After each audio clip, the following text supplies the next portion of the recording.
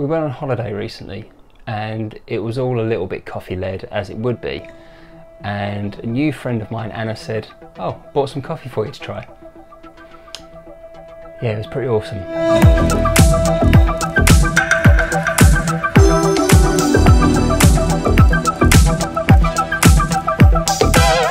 So on today's video, we're going to be answering a question that I never quite thought I would end up asking especially on video. What does it feel like to drink the world's most expensive coffee? So, picture this. You receive a text message whilst you're travelling, you just get off your plane, and someone says, you should have a read of this article. You then have a read of said article, followed by another message that says, I've got it in my bag for us to try. And that is an amazing Costa Rican coffee grown in the Tarrazú region by Don Cayito. Now this farm is awesome and up until, well fairly recently, was the producer of the world's most expensive coffee, selling at the time for over $300 per pound. Now it is a Costa Rican geisha, it's a honey processed coffee as well, so you should know to a degree what to expect from things like that.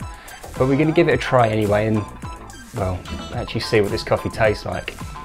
But check out the website as well, cafedoncayito.com if you want to learn anything more about these.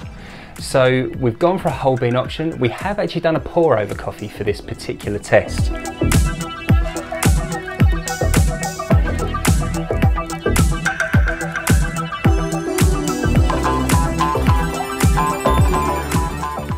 There it is.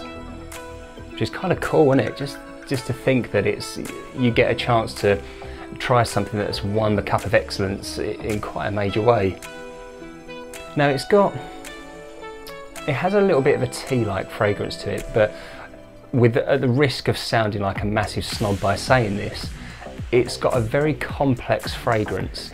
You couldn't just, I couldn't just give that a, a, big inhale and say, oh, it's got all of these sort of flavour notes on the actual smell itself, because it feels very complicated which is kind of cool and hopefully that's what it should be anyway. Subtly smoky, it's a fairly medium dark roast this particular coffee. But it also has a little air of sweetness to it as well. So we should probably give it a proper try, shouldn't we? So let's see what we get on our first taste. Now it has been allowed to cool just a little fraction, poured through the Chemex as well.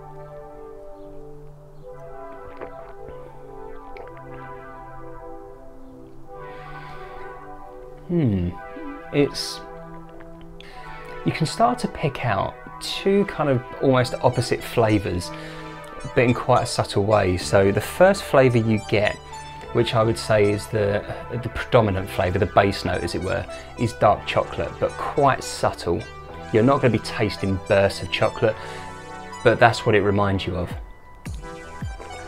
And then you get this and I say delicate because it is almost superly delicate flavour of like a sweet orange. Um, again, these aren't super pronounced flavours. These are ones that you almost have to sit there and think about for a little bit.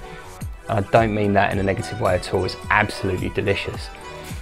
But the, the chocolate and the orange, you can also you can almost imagine like a, either a Terry's chocolate orange or a Jaffa cake having that kind of sweetness from the chocolate and, and the orange itself. But it kind of isn't like that at all at the same time It's super subtle, but it's intriguing.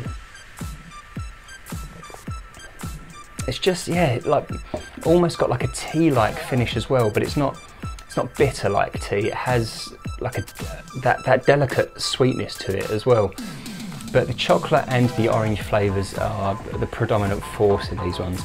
Like colour-wise, I mean, it's you know, you make anything in a Chemex, it's going to come out great, but it's just this incredible, almost um, like sweet tea colour, slightly darker than sweet tea, but it just has that beautiful kind of amber colour, which is, is awesome. And as it starts to, hmm, yeah, almost like nectarini on top there as well. It's as it's cooling down, it, it, it develops even more. It's, it's quite a little experience actually. I feel really privileged to try this.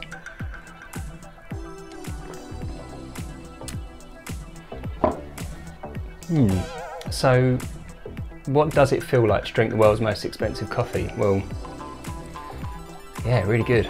really, really good. I'm really grateful to Anna for giving me these bags of coffee as well. I think as a bit of a treat, it's great to try this. Obviously, we know that it's been surpassed now, and the coffee that is now the world's most expensive is currently selling in a, a coffee shop in San Francisco, I believe, for about $75 a cup. I mean, each to their own, but if you get a chance to try something that is this po, you know, this ex, um, experiential, then you're never going to regret anything like this. It's, it's a really special thing, and I really do hope you get to try it out. So, cafedoncayito.com, um, check out the Geisha honey processed coffee. It is awesome. I hope to see you again very, very soon if I've sort of managed to come back to my normal senses after this, which I'm hoping I will in time. Uh, don't forget to hit that subscribe button, tap onto the notifications icon as well so you can get regular updates from our weekly videos and can't wait to see you again soon on coffeegpa.com. I'm going to go and enjoy the rest of this now. See you again soon.